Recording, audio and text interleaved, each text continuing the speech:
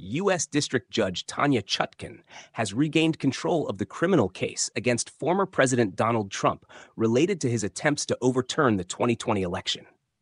This development follows a Supreme Court ruling that granted Trump significant immunity for official acts during his presidency, potentially weakening the prosecution's case.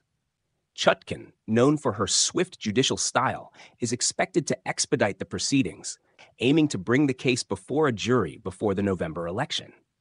However, the Supreme Court's decision could limit the evidence available, including key testimonies. Chutkan's decisions will be closely watched, especially since this is the only remaining federal case against Trump after the dismissal of charges in a separate classified documents case.